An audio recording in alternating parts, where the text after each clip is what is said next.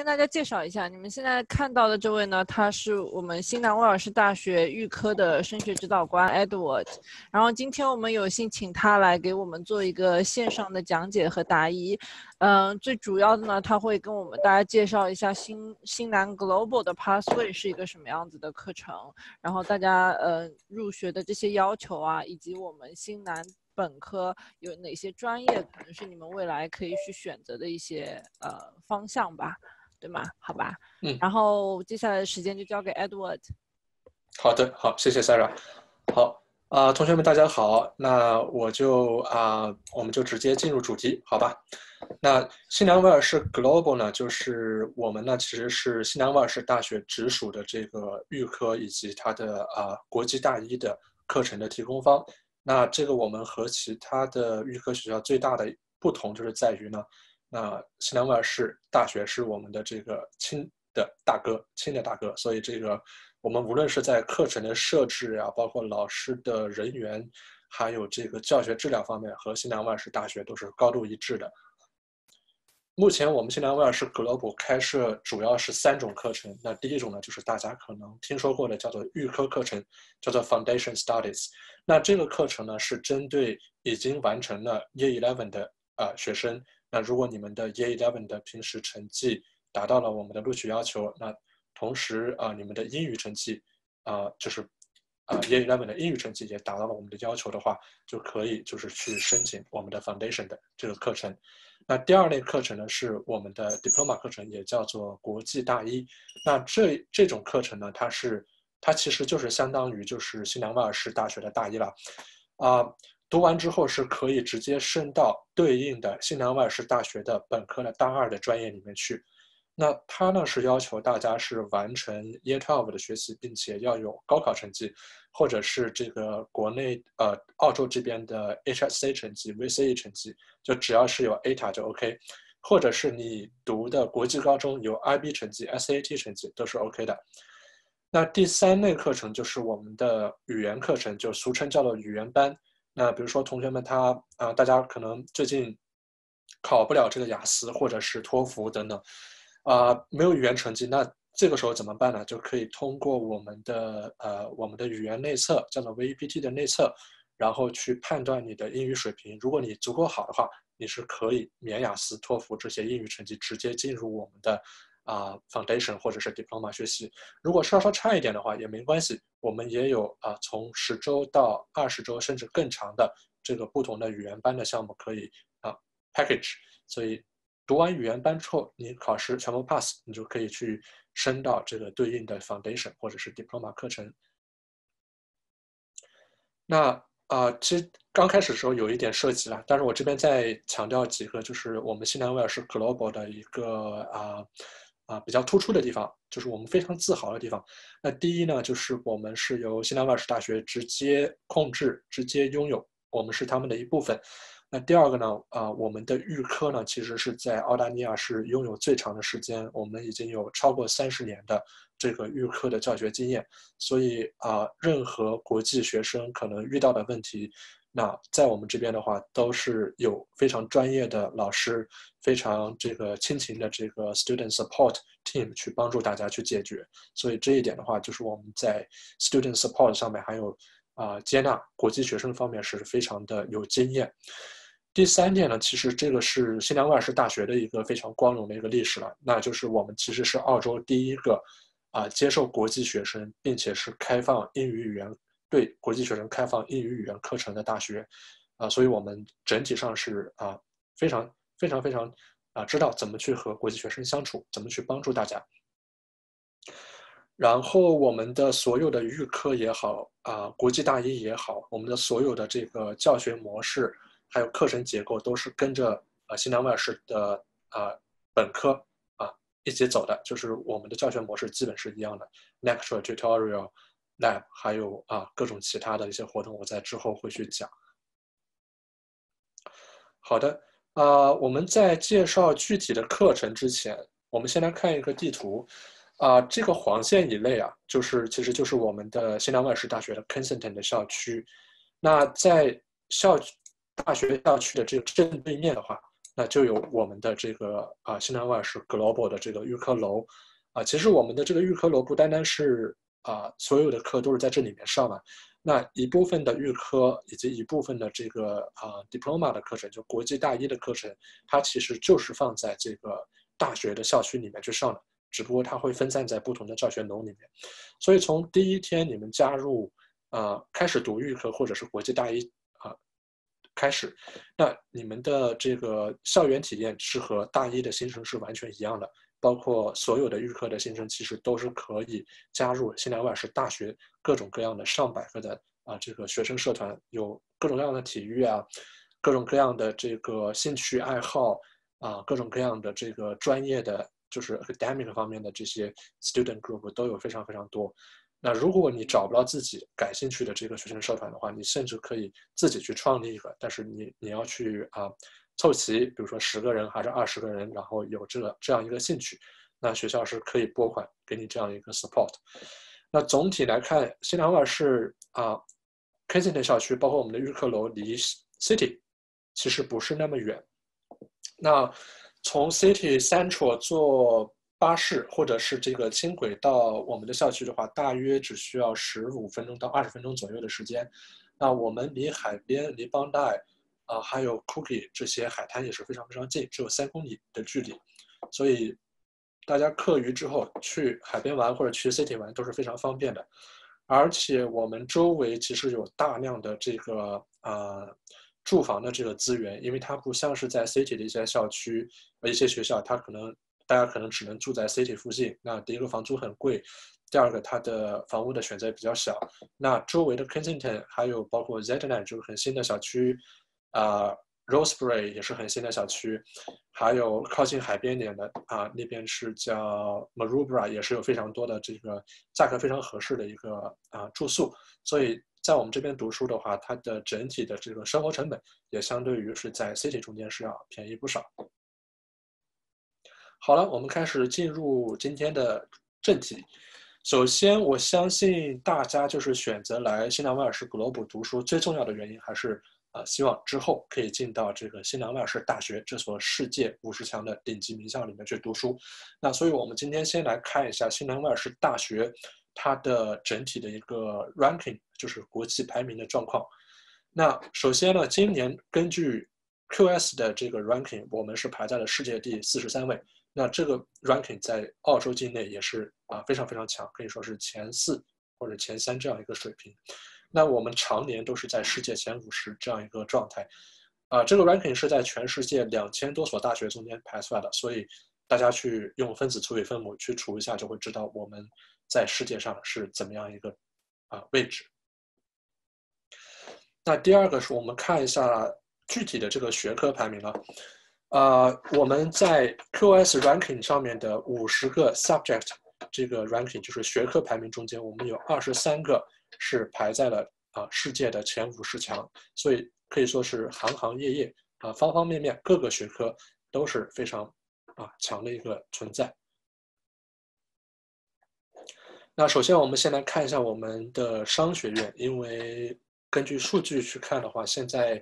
啊选择读商科的同学还是非常多的。呃，但是今天呢，我想讲的这些 ranking 呢，啊是啊，可能和你们原来听到的有些不一样。呃，就是我们的商学院，新南威尔士的商学院，它的整体的老牌的这些专业的这个 performance 是非常非常强的。那像今年我们的 accounting 和 finance，就是金融与会计，是排在了世界第十五。那这个水平是在澳洲是全澳第一。所以啊，莫大呀、西大呀等等，他们都是在我们后面。那今天我想讲的，就是说我们陆续的看到很多同学，就是对商业分析，像 business analytics、大数据分析、big data 这一块有越来越多的啊，越来越强的这样一个需求。那其实这些课程呢，在我们的商学院下面也是有开设的，只是我们没有直接把它标榜成这个 Bachelor of 啊 Business Analytics 或者是 Bachelor of Big Data。而是我们会把它放在叫做 Bachelor Bachelor of Information System，就是商科里面的 IT 下面去教。那在这一块的话，它其实这个专业其实它是一个 IT 和商科两个相互交融的这样一个专业，啊，中间会牵涉到很多关于数据分析和商业分析这一块包括定量和定性分析这一块。所以对这块感兴趣的同学不妨去啊考虑一下。那其实讲到这个大数据分析，它的最根本的一个知识的呃结构啊，最根本的一个根基就是呃，其实是跟这个统计学和这个计量经济 （econometrics） 是高度相关的。那我们在这一块的这个 ranking 也是非常强，在经济和计量经济这一块，我们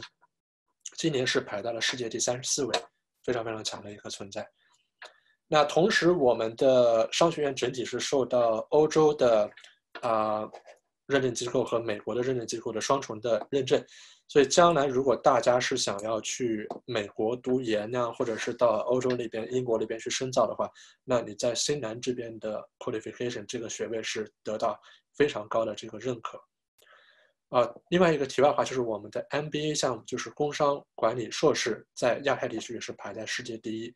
啊，当然这个是比较远了，可能大家以后读研的时候才需要考虑。那讲完商科，我们再讲一下我们的传统的这个王牌王牌学科，就是我们的工程。那新南威尔士大学的前身呢，其实是一个专注于工程与与科技的这样一个呃高等教育学府。那所以这个工程还有这个 science engineering 和 science 一直是植根在我们血液中的一个强势的专业。我们可以非常自豪的说，我们的呃 engineering faculty 是在澳洲是排第一位，而且。不是总体第一，是可以说是每一个方方面面不同的 stream 都是排在第一，包括比如说像我们的土木工程 civil and structure，我们的啊这个矿业工程这个 mining engineering 都是排在澳洲第一。像 mining 的话，这一块我们是排在世界第四，啊全澳第一。Civil 是世界第十一位，那 Double E 和 Chemical Engineer 的话，也都是排在世界前四十这样一个水平。所以说，只要你是想学啊工程的话，简单来说，来西南你就对了。因为我们无论是在 Ranking 方面，还是在教学的内容方面，尤其是啊和是行业的结合的方面来说的话，是做的是非常好的。我们的工程的毕业生在雇主、澳洲还有全世界的这个雇主的口碑是非常非常不错的。那讲完这个 engineering，我们再讲一下这个理科嘛，science 这一块的话，我们其实除了有传统的这些像啊优势专业，像 material science 啊材料科学，environmental science 环境科学，那我们在心理科学这一块也是非常强，今年是排在了世界第二十二位。那心理学呢，其实在新南呢是在两个 faculty 下面教，一个是在这个 faculty of science 下面，就是作为心理科学去教，它除了会教你很多心理分析的方法之外，他还会啊深入的去让你去研究那这个心理和就是神经还有脑科学这方面的这个联系啊。另外一个分支是在我们的人文科学下面去人文学下面去教，但那个主要就是分析呃比较注重于就是分析了，以后可以出来去做心理医师。那在 science 这一块，我想提到一个就是新南的一个非常自豪的一个研究的领域，就是我们的太阳能。啊，我们的 photovoltaic engineering 就是或者叫做 solar en 啊 solar energy 这一块，那它不是澳洲第一这样一个水平，它可以说是全世界最强第一。那如果大家听说过曾经的中国的一个首富叫做啊 Doctor 施振荣，就是施振荣博士，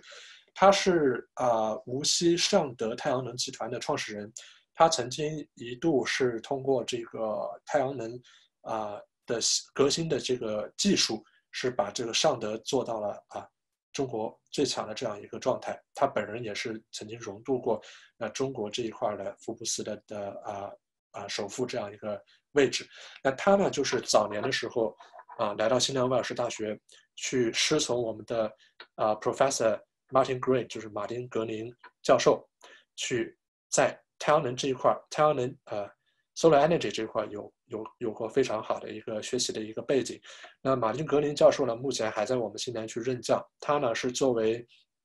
太阳能领域的话，是可以说是全世界范围内的一个泰山北斗。那所以大家如果是对这一块感兴趣的话，那来我们西南也对了，来看一看大神们都是啊怎么样去工作的，怎么样去教学的，以及他们最新研究的这些 topic 等等。好了，讲完理工科的话，我们再来看一下我们的文科。啊，因为很多学生包括家长都会觉得我们的优势专业其实就是偏理科了，其实这样是呃呃，其实有一点点偏差的。啊，新南威尔士大学作为一个综合性的综合性的大学，其实我们是能文也能理，就是能文能武。在文科这一块的话，我们的法律专业可以说是澳洲顶尖，数一数二。今年的我们的 Law School 是排在了世界第十四位，这样的排名在澳洲应该是排在第二或者是第三，也是非常非常棒的这样一个状态。在本科阶段的话，大家可以去选择就是 Bachelor of Law 加上其他的啊 Bachelor of 其他的一个 faculty 的一个课程去学一个 Double Degree，就是双学位。呃，出来以后你就可以去申请，就是成为澳洲的这个 solicitor，就是事务律师，所以这一块是非常好的。那律师呢，我就不多说了，他在各国各个国家都是一个啊三高人群，就是高收入、高社会地位啊，然后高这个认可度这样一个一个一种职业。而且现在无论你是打算留在澳洲，或者是将来回国，对于啊各行各业。各个地方的这个 law firm 啊，就是这些律师事务所或者大的跨国企业，对于有这种双语能力，并且同时有这个海外啊律师执照的这样一种人才的需求是非常非常旺的。因为举个例子，就是国内的一些大型企业，他们比如说他们要去啊海外扩张，或者是跟海外的 supplier 或者是 customer 有一些。啊，legal 上面的一些问题需要提供一些 legal 的 advice 的话，那他肯定是第一会选择在当地生活过，并且有当地这个律师执照的这样一种人才。那如果你是在澳洲发展的话，那澳洲当地的这些 law firm 的话，也是希望你是一个拥有呃双语能力的这样一一个律师。比如说，他们可以去把一些啊跟中国相关的一些 case 去分给你去做，所以这这一块是我高度推荐的。那同时，在我们研究生阶段，我们也会有这个 Juris Doctor，就是法学博士的学位去开。那这个我就不多讲，等大家到那个时候有需要的话，再来咨询我们。好的，讲完我们的法律专业，我们再来看一下我们的纯文科，就是 Arts and Social Science 人文科学这一块。那这一块我们整体的排名是在世界第四十二，也是相当相当相当的强。那比如说像我们在呃 sociology 就是社会学这一块是排在世世界第五十一位。除此之外的话，我们还有很多，比如说像心理学呀、各种各样的小语种啊、啊文化研究啊、啊政国际政治啊这些啊比较偏文科的这些专业，可以供大家去选择。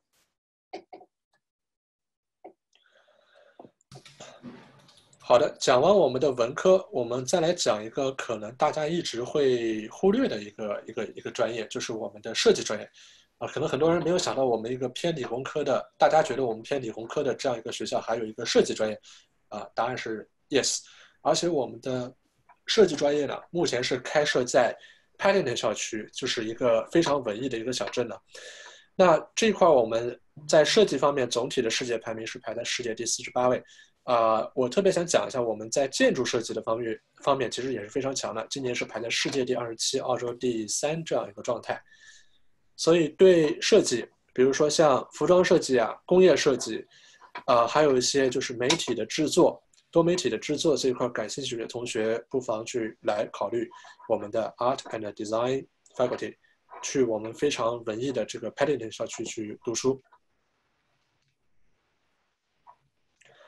好的，再下一个专业就是我们另外一个非常引以为豪的大专业了，大大 faculty 就是我们的 Build and Environment 啊，我们的建筑与环境学院。那这一块我们的世界排名是第二十三位啊，在这一块的话，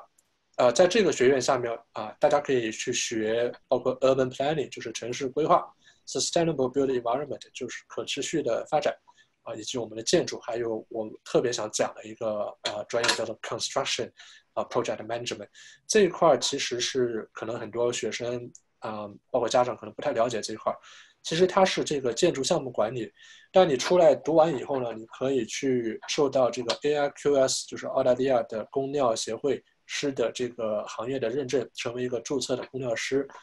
啊，将来这块它的无论是在就业前景啊，还是啊其他方面，比如说帮助你留在澳大利亚这方面。都会有一定的优势，而且新南的这个 construction project management 其实是带有实习，所以这块我也是高度的推荐，大家可以不妨来关注一下。那最后一个 faculty 就是我们的医学院了，我们的 medicine。那不用讲了，它的 ranking 世界第四十六也是相当强的一个存在。那今年出现了一个非常好的一个 update，就是说对于在国内参加高考的学生来说，啊，我们是破天荒的是接受国内高考成绩去申请我们的这个医学医学方面的所有的这个专业。那这一块的话，可以说是在澳洲八大中间是独一无二、独一无二的这一块。呃，当然你还需要去参加这个啊其他的这个考试，比如说呃 ISEC 这个考试，才能去竞争啊这个呃 Doctor 的这个学位。然后这一块医学这方面，我还想讲的一点就是，新南威尔士大学的医学团队目前是在参与澳洲啊针对新冠病毒的这个疫苗的研发，以及研研究这个新冠疫苗如何是侵入人体的细胞。所以这一块的话，我们一直是走在行业，包括学术界，包括 industry 的最前沿。所以这一块的话啊，我们是非常自信。那如果想要学医的同学，也欢迎来报考我们的啊 medicine 的 faculty。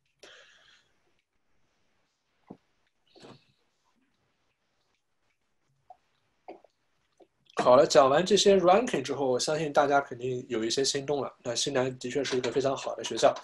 那好呢，它不单单体现在这个学术上面这个排名好，还体现在我们新南的这个毕业生他对他的这个受到行业内的雇主的欢迎程度上面。那首先呢，我们从最直接的这个薪酬上面就能看出，新南威尔士大学的这个研究生的毕业生的。啊，年薪的中位数是高达八万澳币，那这是在澳洲八大中间是排的第一位，其他的这个八大的他们的呃毕业生的中位数收入的年收入的中位数是在七万三，所以这高出了整整百分之十。那我们的毕研究生的毕业生他的啊这个 salary 的中位数就更高了，能达到十二万多的澳币，所以这一块的话，我们是非常开心，我们的学生通过我们这个。啊，非常高质量的教学，那他们的呃，大家得到了这个学术上面的素养，还有实际解决问题的能力，是得到行业啊的非常高度的这样的一个认可。所以这一块的话，大学呃，大家如果是从将来的收入的角度去考虑的话，那西南万市大学也是你非常好的一个选择。好了，讲完新南。威尔士大学的这一块的内容啊，我们进入第二个环节，那就是我们我们 UNSW Global 新南威尔士 Global 啊，我们的这些课程，在预科这一块，记得我们前面讲了吗？我们的 Pathway 课程其实分成三种：预科 Diploma 就是国际大一，以及我们的语言课程。那在预科课程这一块，我们其实是有四种不同的预科可供大家选择，根据长度的不同，分别分为 Transition。就是四个月的这个加速预科，啊，九个月的 standard 标准预科，以及十二个月的这个啊标准延长预科，叫做 standard plus 啊标准附加预科，还有最长的这个 extended foundation 就是延长预科十五个月。那这些预科呢，他们的时间长度不同，他们的录取要求也有所不同。可以说，除了 transition 是要求大家一定要有这个 ATA 成绩，或者是 IB 成绩，或者是高考成绩这些，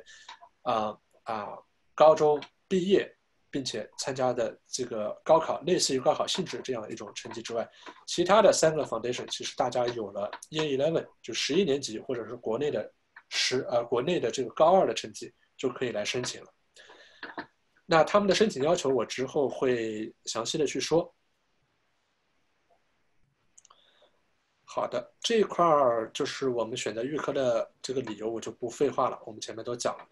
那预科除了时间长度分成四个不同的啊 program 之外，那在专业方向上面其实也是有区分的。所有的所有的预科课程就是啊 transition from a standard foundation, standard plus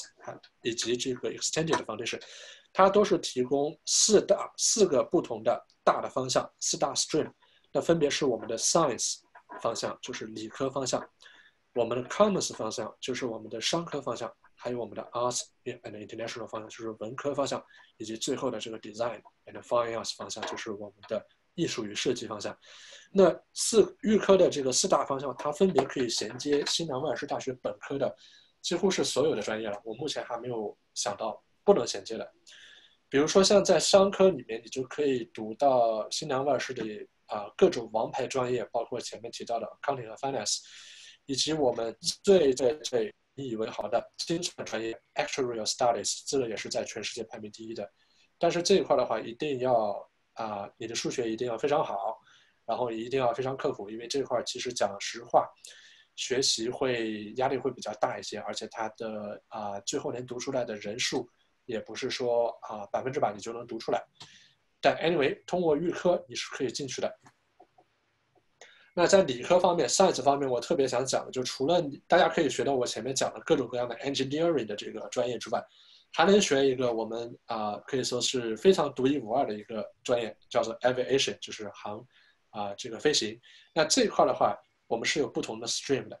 啊。如果你选择这个飞行员 stream 的话，你将来是可以拿到这个飞行员的商业驾驶飞行员的执照，真的真的是可以去开飞机的。而且我们本身在 Bankstown 是有一个机场，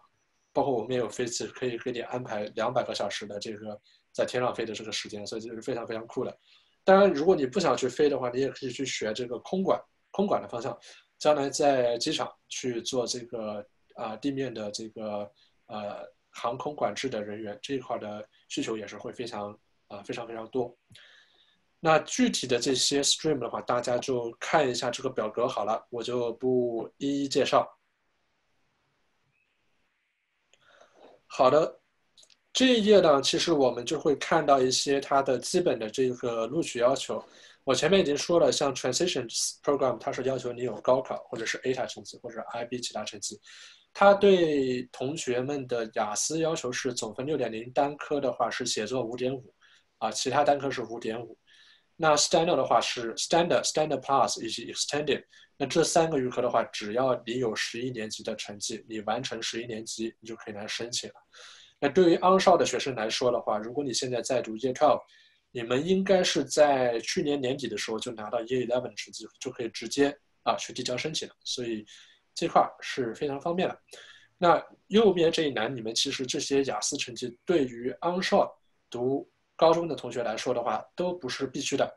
我们通常会看你的这个 ESL 的这个英语课的成绩，如果他。啊，比如说你达到百分之七十甚至百分之八十，我们根据课程的长度啊，不同的这个 program 就可以去豁免你的这个雅思或者是托福的要求。所以这一块的话啊，我们会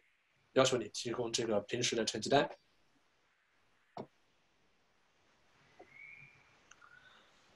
好的，那我们再来看一下这个学术方面的要求，这边就非常明确了。如果是 transition program 的话，我们今年对澳洲境内的学生要求是 ATA 六十八分；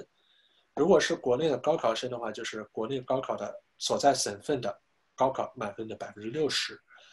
那这一块的话啊，如果你达不到的话，但是你的 Year Eleven 成绩能达到百分之七十，或者是啊平均分是 B 的话。是在四门相关的这个呃这个学科里面的话，你就可以考虑我们比较短的这个九个月的 standard。那如果是 ATA 五十五或者是 Year Eleven 百分之六十的话，就是可以是十二个月的这个 standard plus。那最差的一个是最长的一个是这个 ATA 五十或者是 Year Eleven 百分之六十的成绩可以进十五个月的这个延长预科。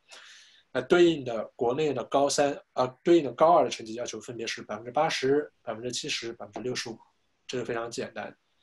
啊，如果有不清楚的话，可以咨询呃奥信的这个顾问老师，然后他们会把这个详细的信息发给你们。至于大家比较关心的这个开课时间的问题，大家可以在这一个这个 slides 里面看一下。如果有需要，同学可以做一个截屏或者拍个照。那具体的我就不多说了。那我会总体讲一下，就是我们所有的这个预科的 program 每年都有三次开学，可以说每个月都有开学。呃，三月份的开学基本都结束了。我们是在三月二十五号、三月三十号有两次比较主要的开学。下一波的开学是集中在六月份，是集中在六月三号。六月三号我们有十二个月的 Standard Plus 的预科的开学。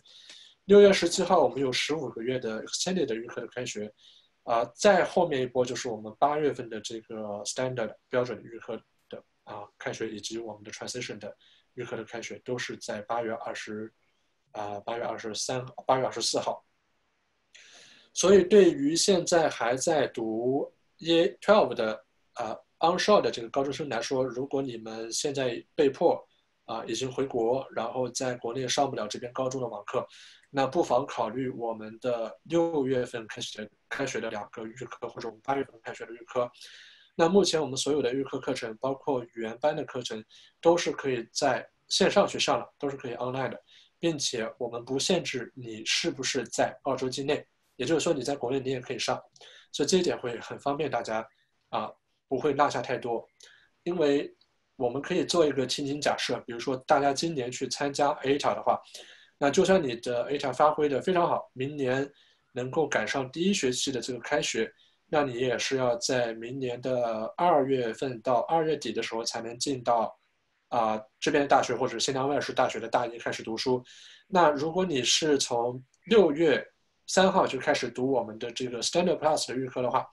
那它其实衔接的是明年五月三十一号的新疆外事的第二学期的开学。其实比你在国内就是继续继续努力，或者在澳洲这边继续继续努力，年底参加 ATA 考试。最后衔接明年二月份的这个新娘大一的开学，只晚了三个月的时间，但是你可以省下很多的精力，一个是复习这边 HSC 或者是 VCE 考试的这个精力，第二个的话你是不用担心啊这边高中它没有办法给国内的学生开网课的问题，所以这是一个替代方案。啊，对应的当然你也可以选择八月份开学的这个 Standard 的这个预课。那八月二十四号，它也是衔接明年的五月三十一号的第二学期的新疆外事大学的开学，所以这两个方案都是非常好的。那对于目前在国内，在国内读高中的同学啊，如果你是决定就是还是打算去参加一下国内七月份的这个啊高考的话，那也不妨考虑我们八月份的这个 transition 的 program，八月底的 transition program，以及我们。啊，在八月底的这个 diploma program 就是国际大一的 program，这两个是要求有高考成绩，我后面会讲。好的，那我们就开始说一下 diploma 吧。目前目前的话，我们是提供有两个 diploma，就是两个国际大一，分别是 diploma engineering，就是工程学的国际大一，以及 diploma in science，就是理科的国际大一。那这两个课程呢，它是啊。它其实就是和你的本科课程其实是 packaged，就是打包录取的。它会啊，我们会同时给你一个 diploma 的 offer，以及剩下来大二、大三、大四新疆外事大学本科的 offer，这两个都是 package 打包一起给到你的。如果你顺利的完成了 diploma 的学习的话，并且你的啊所有的课都 pass pass pass pass，那你就可以顺利的升入到这个新疆外事大二的对应的专业。Diploma 的课程的长度呢，它跟直接读大一是一样的，都是十一个月，开学时间基本上也是一致。如果你是啊啊，抱歉，我这边有点跳了，我来讲一下这个为什么要选我们 Diploma，就是 Diploma 和国际大一的最大的一个区别吧。那第一呢，最大的区别就是它的 Entry Requirement 会比直接进新南本科的大一要低不少。那对于澳洲境内的学生来说，如果你在澳洲境内读高中的话，那呃，我们的 Diploma in Engineering 今年只要求你达到这个 ATA 的百分之七十四，ATA 七十四，啊，Diploma in Science 的话是达到 ATA 的百分之七十，那这个是比直接进西南外事大学本科的 Bachelor of Science 或者 Bachelor of Engineering ATA 八十多八十多的这个要求啊，足足低了这个十几个点，所以这个是一条非常好的一个绿色途径。那大家肯定会好奇了，既然这个课课程内容、考试内容都差不多，都几乎都是一样的，啊，然后读完之后也能进到这个大二，那 diploma 我们的 diploma 这个录取要求低这么多，进去会不会读不出来？所以这一点我们其实也是有考虑的。所以我们在课程设置上面虽然跟大学是保持一致，但我们的课程时间是比本科大一要长不少的。那我们的 diploma 的课堂的 size 也是要小很多，基本都是小班教学，一般也就是二十个人左右。那这个是比啊大学里面啊可能动辄上百号、大几百号人的这个大课 lecture 要小很多，所以你会有更多的时间问老师问题，老师也可以更加的去 focus 在每一个学生上面。然后每周的这个教学时间也能够达到二十五甚至达到三十个小时，所以这一块的话。不用担心，我们是降低了一些录取要求，给大家一个呃绿色绿色升学通道，但是我们也会给大家额外的帮助，让大家能够啊赶上正常的这个大一的进度，然后顺利的升到大二去。好的，我们来具体看一下 Diploma Engineering 理科的这个 Diploma。那这一块的话，它是可以选到啊 Engineering Faculty 下面十七个，几乎是它所有的这个专业，包括我前面提到的这个我们的王牌的土木工程和结构工程，我们的电子电器，我们的化学工程，我我们的航天航空工程，我们的这个啊化学工程等等等等，所以这个是非常非常全的。然后你会学到八门的专业课，八门的 engineering 的专业课，附加一门额外的这个叫做 communication and academic literacy course，这个其实就是英语课了。它其实会帮你很多，比如说告诉你怎么去教你怎么去写 essay 啊，怎么去写论文啊这些。对于没有在澳洲读过书的同学来说的话，这一门课是非常非常棒的。那除此之外的话，这门英语课还会教你很多。日常生活中会用到的英文，一些社交的一些英文，啊，怎么去跟老外同学、老师，包括你将来的雇主去打交道，以及澳大利亚的很多西方的这些英文英文国家，啊，English speaking country 的很多的这个啊风土人情都会在这门课里面学，就是非常推荐。那同样的，在 Diploma in Science 这一块的话，我们也是提供。啊，有十六个方向的 specializations，就是十六个不同的方向供大家选择。那这边是七门专业课加上一门这个 communication for academic and literacy literacy course。那这边我就不多说了。那在化啊，在 science 这块的话，它衔接的课程也是非常多，像啊心理科学，像我们的化学科学，像我们的物理，以及很多基础科学都是有提供。好了，在 diploma 这一块的话，我们对于国内高考生的要求是今年高考总分的百分之六十二，比这个我前面讲到的 transition 高两个百分点。transition 的话是要高考百分之啊六十。Beta 成绩的要求前之前也讲了，那 diploma in engineering 是百分之七十四，diploma in science 是百分之七十。那其他的啊这些啊学位啊或者是 qualification，其实我们也接受了。啊，不管你是人在澳洲，还是在其他国家，还是在中国，只要你是有 IB 成绩、SAT 成绩、A Level 成绩，那这些的话，我们都是认的，并且我们已经考虑到今年这个疫情会对这些考试的这个 Final 考 Final Exam 产生影响，那我们都是接受啊这些考试的这个 Predicted Result，比如说 IB 的这个预估分，我们是接受的；SAT 的预估分我们也接受；A Level 的这个预估分都 OK。好了，在英文这一块儿，雅思这一块的要求，那也是比较清晰的，啊，所有的 diploma 它的 overall 的总体的雅思要求都是六点零，单科的话是写作六点零，然后其他小分是五点五。那我们也接受托福呀，或者是这个 PTE 测试，或者是我们自己的这个 VPT 的测试。啊，如果你是在澳洲读书的话，again，这个雅思你不是语言成绩，呃，就是雅思不是一定要提供的。那满足我们的语言要求，可以通过啊啊你的这个 VCE 或者是 HSC 的这个英文成绩来满足。我们会到时候去看一下啊你的这个分数是多少。好，大家关心的这个开课时间的话，Diploma 那每年也是有三次开学，第一次是在一月，第二次是在五月，第三次是在八月。啊，今年剩下来也就是五月十一号的开学以及八月三十一号的开学了。但对于今年还没有参加澳洲 HSC 或者是国内科考的同学来说的话，那可能只有八月三十一号的这次 intake 以及二零二一年的一月份的这个呃 diploma 的 intake 啊比较相关了，所以这两个 intake 时间大家可以考虑一下。对于目前就是在国内去年参加过高考，但是 for some reason 还没有过来读书的同学的话，那倒是可以考虑我们。五月十一号的这个 diploma 的课程。好了，最后这个语言班的信息我就不展开去说了。就是我们的语言班是有分成啊两大类，一个是 academic English，就是学术英语，主要分成 UEC，就是给本科和研究生用的这个语言班；以及 FEC 就是给我们预科以及国际大一用的语言班。那这两个课程的话，都是能够啊配到最高能配到二十周的语言。那如果大家还是需要更多的语言班，比如说你的雅思成绩啊还是比较低，可能需要配更久的话，我们前面还可以再加配十周的叫做 Essential Academic English，就是啊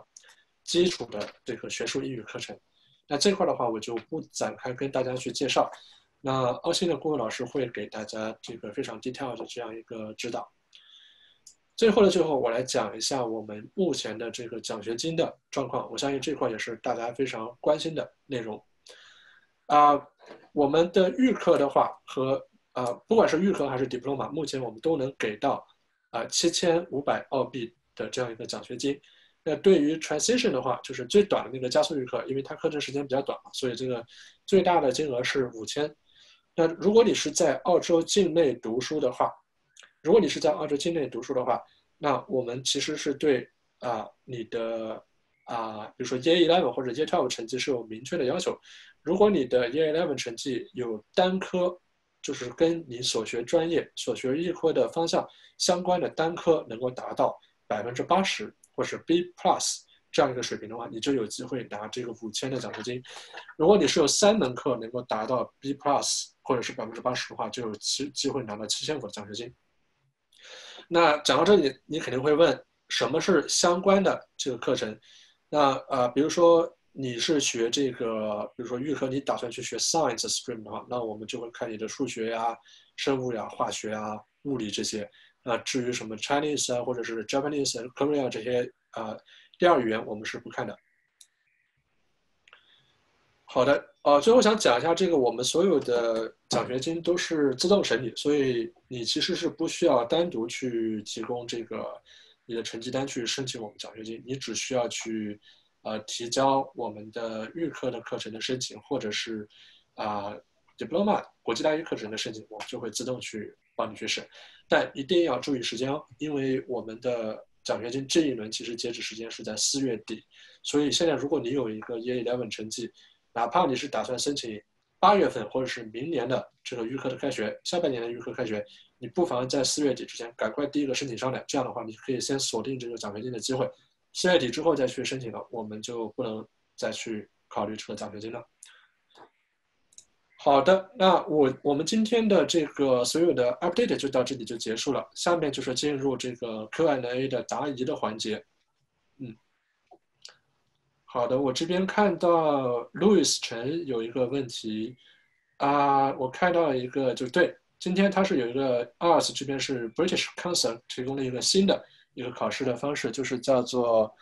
啊，其实是叫做 IELTS。啊，indicator 这样一个考试，它是可以允许学生在家里面去考的。那目前我们的 admission teams 正在研究是否可以去接纳这个考试的成绩作为雅思的一个替代。嗯，好的啊，大家还有别的什么问题吗？我收集了一些问题，但是我刚刚看说你好像里面有一些已经回答的，比如说他们比较关心我们预科一年有几次的开学，然后这些预科最终链接的是我们后面的哪个本科？我看您之前里面有一张 PPT 有解释了这个问题，是吧？对的，呃，这边我再详细讲一下，我给大家找一个网站，稍等一下啊，我去换一个截屏。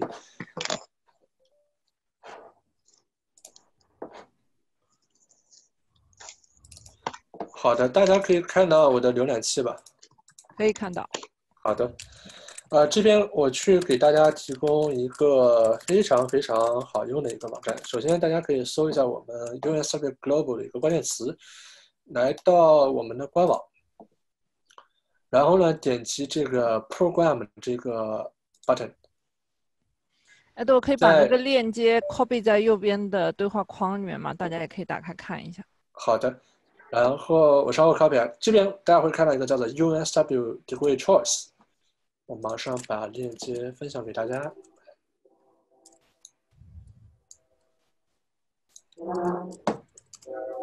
好的，链接在这里。然后一旦到了，哇，谁的火车？声音好小。你一旦到了这个页面以后啊，你就往下面看，这边有一个啊 degree name 什么的，这样一个 button，你可以在里面输。比如说，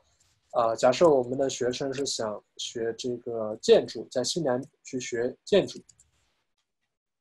然后你会发现 architecture，你输一个关键词，它就会自动跳出来。你会发现它有单独的，它有这么多课，其实跟建筑都相关的，包括室内建筑啊。包括这个正常的 actual 呃 architecture study 室外建筑等等，你会发现，它是要求你在预科的时候要读什么 stream 呢？是读这个 design stream。然后你的预科的升学条件也写在这边非常明确，你预科 GPA 要达到八点零，英语要达到 B，啊，然后对应的它的这个 bachelor of Architecture study，它在西南有两次开学，那 term one 和 term three 都有开学，所以你不能选择这个预科。啊，衔接到 Term Two，因为那样的话你就没有办法去衔接到这个第一学期和第二学期，呃，第三学期开学了。所以大家在选课的时候可以用这个网站作为一个参考。好的，呃，这个问题应该已经回答了。好，我他们还有一个问题是说，预科毕业和高中毕业有区别吗？好的，这个是有区别的。那首先呢，就是大家不管是选择读高中，完了之后参加高考，或者是这边的 HSC、VC 考试进大学，还是读我们的预科，那最后的目的都是为了能够顺利的进入一个很好的一个学校，比如说像新南威尔士大学。那如果你是已经认定了新南这一块的话，那其实通过我们的预科，呃，往上面升的话，对于国际学生来说其实是有很大的优势的。首先呢，国就是澳洲这边的这个高考。那你需要和本地的 domestic 学生去同台竞技。那新南威尔士大学这一块儿，它对国际学生啊，对于本科大一的国际学生，它的 ATA 要求啊是比国内的学生，就是澳洲当地的学生 local 学生是要低一些的，但低的很有限。比如说低百分之一到百分之最多也就百分之一了，一个点到两个点左右。比如说它的 Commons 是要达到 ATA 快九十多，这样的话，这个压力其实挺大的。这就意味着你要干掉，啊，澳洲当地百分之九十的这个高考生，你才有机会进入到新南威尔士大学读书。但同样的，如果你去申请我们的预科或者是我们的国际大一的话，那这个要求就会入学门槛就会低很多。比如说国际大一的话，啊，sorry，这个商科这块还没有这个 diploma 啊。比如说你的 engineering 这块，它就会一下从这个 ATA 八十多降到 ATA 七十四，或者是。哎，这呃，science 这块就会降到百分之啊 ATA 七十，所以入学门槛上面有很大的差别。预科就更不用说了，你可以直接连十二年级都不用读完，不用参加高考，直接用你十一年级均分百分之呃八十到百分之六十之间，你就可以去考虑来申请我们的不同长度的预科，取决于你是在国内还是在这边。所以这是第一点不同。那第二点不同的话，它是在啊，可能是在啊，你的文凭上面会不同。那这边我也必须实话实讲，如果你是读高中的话，你会得到呃一个高中毕业证，但这个是一个官方承认的一个毕业证书。如果你是来读预科的话，你实际上从预科毕业你是没有 qualification 的，因为预科从啊在澳洲的教育部门里面，它是被分为叫做 non-award 课程，就是非学位授予课程。但是如果你最后看的结果都是拿到本科毕业证的话，那这点是完全是一样的。然后还有一个最大的不同就是我们的预科啊的网课是针对所有的学生都开放，境内境外都开放，所以你选择预科的话不会受到目前澳洲部分高中它对国内开不了网课的这个限制的影响。那对于国内的同学来说的话，这呃也基本也也都差不多吧。如果你不想参加这个高考的话，啊，因为西南威尔士大学它其实今年也是啊降低了一些高考的成绩的要求，但是它的高考成绩要求普遍也是要求达到高考总分的百分之七十五到八十以上，其实还是挺高的。如果你不想参加高考，或者说你觉得今年受到疫情的影响，你的高考成绩可能达不到这个要求的话，那我们的国际大一百分之六十二啊高考成绩的要求，或者我们的 transition 百分之六十的要求，高考总分的要求，其实都是非常好的选择。嗯，好，呃，我先说一下，我们还有三个问题是我事先收集的。那之后的话，在群里面或者现在在听的同学还有问题，可以 key in 在我们的群聊里面，也可以在我们直播的群里面问，好吗？趁 Edward 在有问题，大家尽管问。反正我们今天人也不多，也不要怕不好意思。嗯，第三个问题是预科能选哪些专业？然后他们读完预科以后，本科这些专业能换吗？嗯好的，预科的呃专业，其实预科它没有专业分那么细了，它只要只是这个四大方向，就是四个 stream。我前面在 PPT 中间也有讲，主要就是呃商科 commerce stream，然后理工科 science stream 衔接所有的 engineering science，包括医学的这个专业，在本科的专业都是要从 science stream 去进，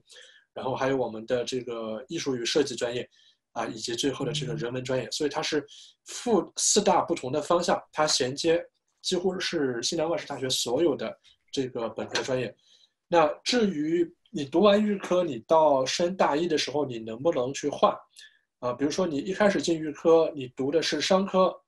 然后呢，你本科。那当时拿了这个 provisional 的 offer，从西南拿的西南外事大学拿的 provisional offer，也是商学院的这个呃 Bachelor of Commerce 的这个 offer。那你能不能换到别的专业呢？那理论上是可以的，但是要看你具体要换到什么专业，以及他们对你的要求是什么样。那同样，大家回到这个网站，比如说，我们来看一个例子。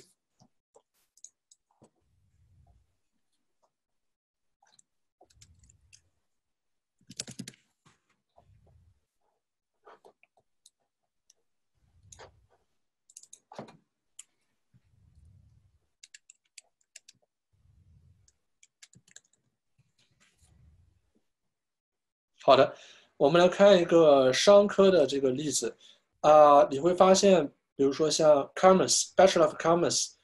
啊，我来找一个单的 Bachelor of Commerce 啊，单学位的。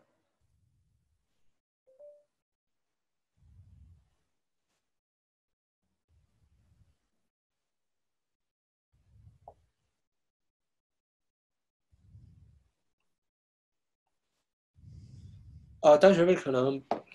不是非常适合。比如说你要学双学位的话，那其实你学，如果是你你你在预科是读的这个 science 方向的预科，但是你在本科的时候是可以同时学这个商科的本科，加上一个理工科的这个本科去学一个双学位，所以这是有一定的这个调整的余地。那我们原则上呢，就是说会看，比如说你要从商科换到 science 的话，我们会看你的。你在高中的时候有没有相关的背景？那就算你在预科阶段学的是商科，但如果你在高中阶段有过啊，比如说物物化生这些专业的这些课程的学习背景，并且成绩还不错的话，那同时你的数学也还不错的话，我们是可以允许学生去换到从商科去换到 science 里面去的。那对应的话，那文科的话基本上就也是就是啊，你你从 commerce 往里面换的话，基本问题也不是太大。所以这一块的话还是比较灵活的。嗯，好。然后我们还有一个同学问，因为之前我们有宣传过一波奖学金，然后同学看到了，就问说四个月的 transaction 也可以申请奖学金的吗？是的，四个月的 transition 目前能够给到最高五千的奖学金。那这个奖学金呢，它是自动授予、自动审理，所以你只要去在四月底之前去提交你的 transition 的这个申请，哪怕暂时还没有达到这个雅思要求，或者是暂时还没有高考成绩要求。你先第一个申请拿一个 conditional offer，那也是有机会去锁定这个奖学金的机会。那同时呢，我还想讲一点，就是说我们在预科在读期间，包括你读完预科之后，也是有机会拿到更多的奖学金的。因为新南威尔士大学今年是啊提高了大幅提高了这个奖学金的金额，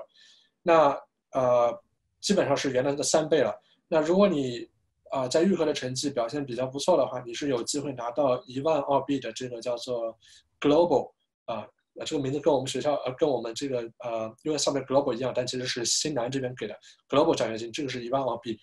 啊，它也是不用申请的，自动给。那如果你成绩非常非常好，就是比如说 GPA 八点几以上，甚至达到九点几，你是有机会拿到新南的半奖甚至是全奖的奖学金。这个奖学金是 ongoing 的，就是说你每个学期。在之后都有机会拿到这一笔的奖学金，但是你要满足新南每每学期的这个 GPA 的这个要求。嗯嗯，好羡慕学霸。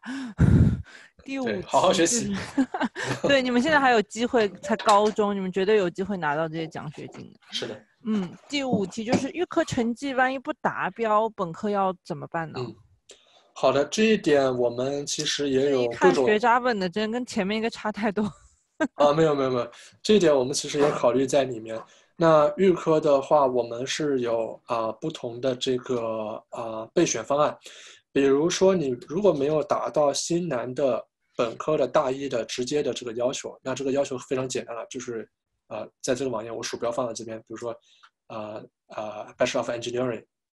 and Bachelor of Commerce，它的要求是 GP 八点零，然后预科的英语是 B。如果你没有达到这个要求的话，如果你没没有达到 GPA 要求的话，那如果你稍微低一点的话，我们是可以考虑让你去进我们的 Diploma。通常情况下，它会啊比。这个是要低一些，比如说 GPA 能够达到七点几的情况下，就可以进到 Diploma。那这一块详细的信息我会之后再跟啊奥信的郭老师去分享，然后他们会在群里面跟你们分享。那如果你是英语预科的英语没有达到这个 B 的要求，那 Technically 技术上你也是没有办法直接升到呃新南的大一的，但是你可以通过我们的这个 UEC 的语言班，或者是呃配我们的语言班。或者是做我们的 VPT 的语言内测，去看能不能达到他们的要求，就是新南那边的要求。那如果你这一块不想做的话，到时候你也可以考雅思去达到啊他的语言的要求，新南本科的语言要求。另外一种情况就是你跟这个本科的这个录取要求差的比较多了，就可能是比如说六点几啊、五点几啊这种情况下，那我们是可以允许你重读第二学期的，就是你不用重读整个预科。不用把一整年的预科重新读一遍，那样比较浪费时间，比较浪费钱。那我们会呃，你重读之后，我们只看你重读那一学期的这个成绩，就是说你比如说你第一学期的预科，原来第一学期预科，比如说适应没有适应的很好，导致第一学期的 GPA 不高，你重读第二学期的话，我们就不会再看你第一学期的啊这个成绩了。所以这个也是一个机会。那最糟糕的情况是。你可能要重读整个预科，那这种情况下，我们也是允许学生最多重读两遍的。所以啊，这块的话，我们是给到了大家非常多的啊 options。嗯，好的。那还有问题？如果还不是，哎，有有个同学好像路易斯他又问了一个：如果在其他学校读工程的预科，预科毕业可以转到嗯新南读 diploma 吗？啊，这是完全可以的。啊，这的呃，我们 diploma 其实对于其他学校的这个 foundation，它也是有非常明确的一个录取要求。那我之后可以和呃奥信的顾问老师去分享一下。然后我们主要是看你的预科是八大的预科还是非八大的预科。如果是八大的话，它的录取要求基本上是和我们的啊，我们对自己。Global 自己预科学生的录取要求是一样的，那如果你是非八大的话，就会啊，就会稍稍要高一点啊。这个我们之后在群里面沟通。对，这个路易斯，你之后可以，我刚刚在右边已经打了我的微信嘛，你可以加一下我的微信，或者群里面还有其他同学有问题，今天没有来得及问的，都可以加我们的微信。然后之后我们的顾问老师呢，会单独。针对你们每个人不同的情况，给到你们一些每个人不一样的建议吧。那今天的话呢，我们就特别感谢艾朵给我们讲的。我刚刚看到有同学说，哇，老师讲的好细啊！谢谢艾朵给我们分享那么多，嗯，比较有有有价值的吧。所以在高中的同学，你们现在目前做的最主要的事情就是先把功课搞好。然后呢，把成绩十一、十二年级有成绩的，可以直接找我们群里面的顾问，或者加了我之后，我可以安排顾问老师给你们看看你们怎么样做一个打算，是申请预科的 Passway，还是说参加完高考再申请我们新南，都是没有问题的，好吗？好的，那如果没有问题的话，那今天就谢谢好，那我们今天就先到这边啦，谢谢 Edward，谢谢大家，记得保持距离哦，我们还是要一起加油，把这个疫情的事情打过去。好吗？没事，不要乱跑。好好学习，祝大家平安。我们期待在悉尼见到大家。好，那就先这样。谢谢爱多，谢谢大家今天，拜拜。拜拜。